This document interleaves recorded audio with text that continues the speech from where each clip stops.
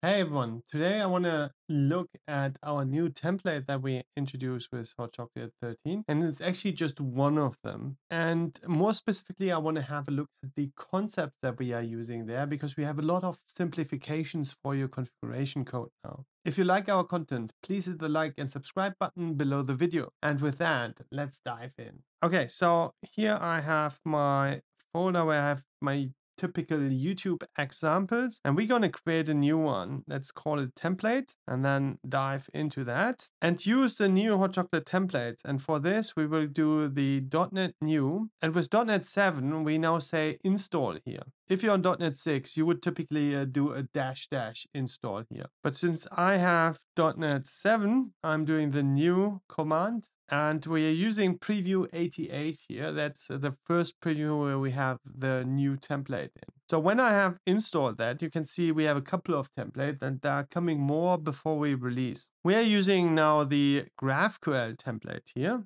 And that's the typical GraphQL server template for ASP.NET Core. And to use that, we do .NET New GraphQL, and then we can use VS Code to have a look at it. And uh, you can see it has a couple of uh, parts to it. Let me restore it. Okay, it's restored. So we have now a program CS here where our configuration is in, and we have a couple of types up here. Let's first have a look at the program CS. So the program CS is now very clean, not a lot to it. So we have this add GraphQL server, and then add types. And add types is essentially done by our source generator. And we will inspect your whole type system for GraphQL related stuff and then add build time, generate code. We will have a look at the code in a second.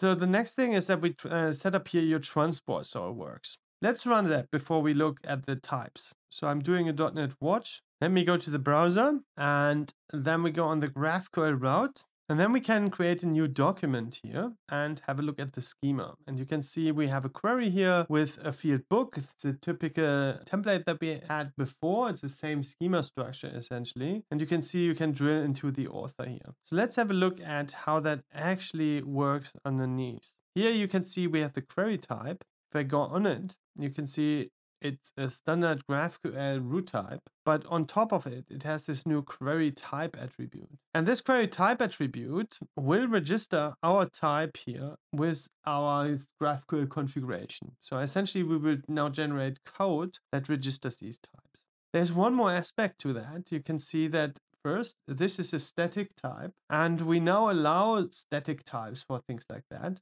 because the root type, for instance, is just a collection of resolvers, entry points, and it's GraphQL specific. That's why it's okay to have here attributes on it. We are not having GraphQL specific attributes on our business models. If we think of business models here, like the book, it's completely clean. There's nothing to it. So one other cool aspect here is you could have multiple query types that have different names. Maybe that is the book queries here.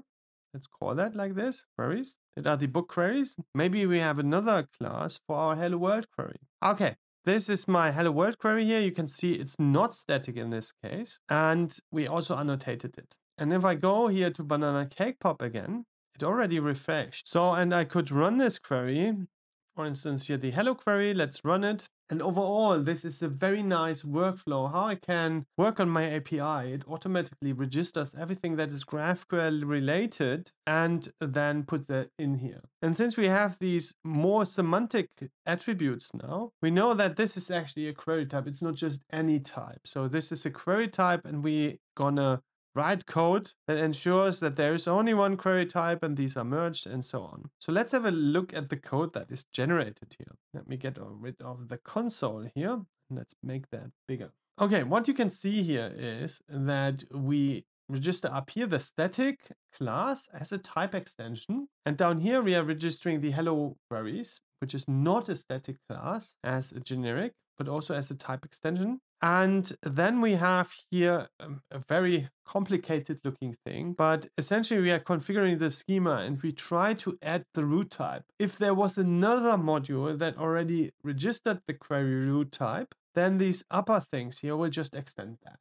If not, we are providing an empty root type and these two guys extend that. And the nice thing is that this not just works with query, we could also just write a mutation here. Okay, this is our um, simple mutation type here, very simple, just uh, essentially is a query here. We're not doing really mutating something, but just to show you how easy it is and how easy it now is to develop, I just wrote this mutation type here. And still my configuration looks as simple as we started, but the generated code behind it got a lot more. Now we have two of these configures for mutation and query, and we also registered our mutation type here. So I have to do zero configuration now, and I can just dig into my GraphQL IDE here, and you can see it's already there. We already have the type and I already have the field here. I can just run it. I'll say mutation, run it, and I'm done. So the development cycle is here very nice with the .NET Watch no hot reload, and then the source generator triggering actually rebuild of my server, and then Banana Cake Pop immediately refreshing the schema. So very nice cycle here. Okay, this is it. I hope this is one more feature in your Hot Chocolate 13 toolbox, which makes your life much easier. It's these details we are working about at the moment to refine the experience that we had with Hot Chocolate 12 and reduce your code that you have to write even more and getting to smaller configurations that are easier to grasp. Please tell us in the comments what you think about the new type auto registration. If you like our project, please go to GitHub and give us a GitHub star. This really helps our project to grow and include even more members into our community. With this, I'm out.